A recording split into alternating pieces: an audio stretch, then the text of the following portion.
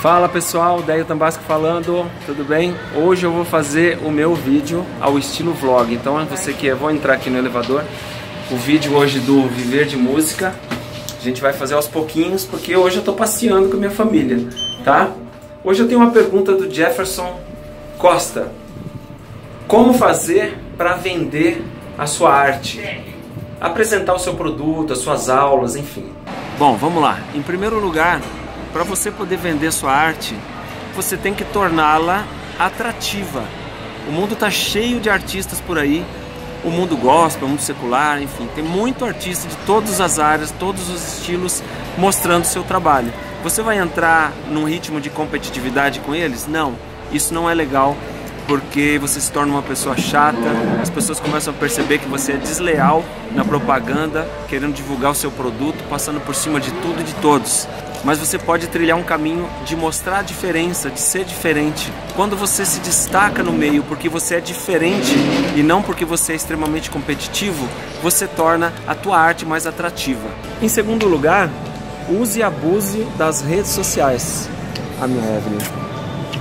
Bom, use e abuse das redes sociais. Não sei se você reparou, mas as empresas mais caras do mundo já estão apelando para a internet você vê anúncios de grandes montadoras de automóveis, eletrodomésticos, produtos eletrônicos e tudo mais, porque eles se renderam, entenderam que a internet é que está dominando a propaganda.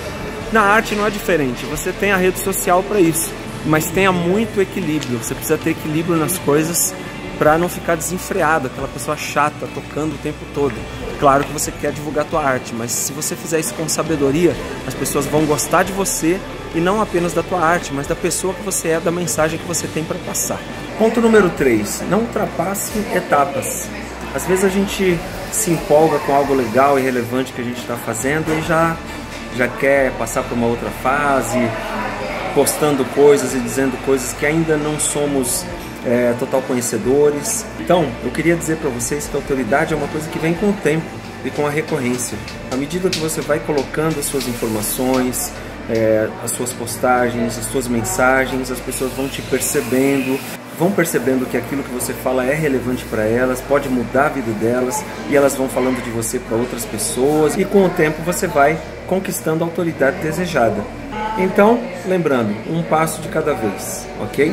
A gente fala muito sobre isso no Viver de Música, onde a gente fala é, durante 10 módulos sobre, entre outras coisas, é claro, é, entre o processo de coaching, a gente fala de criatividade, desenvolvimento e desbloqueio de criatividade, a gente fala também sobre redes sociais, posicionamento social, é, a criação da personalidade social, que é aquilo que você faz na rede, ok? O último ponto que eu queria falar para você é: seja verdadeiro em tudo que você faz. Faça-se a seguinte pergunta: o que você faz tem realmente a ver com quem você é? Então, se tiver tudo a ver, significa que você está sendo verdadeiro, significa que o seu projeto representa aquilo que realmente você é.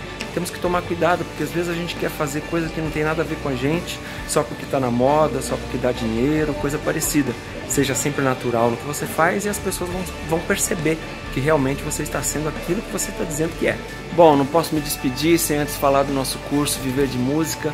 Você que quer realmente realizar esse sonho de viver da arte que você tanto ama, precisa conhecer esse projeto e a gente sempre está aqui disposto a compartilhar muito conteúdo para você, mas te falo uma coisa, fazer parte dessa imersão vai mudar a tua vida. Então me pergunte, tem um link aqui do meu WhatsApp para você clicar embaixo. Clicando aí você vai falar direto comigo e a gente vai conversar e eu vou poder apresentar o curso para você, tá bom? Deus abençoe, até o próximo vídeo. Tchau, tchau.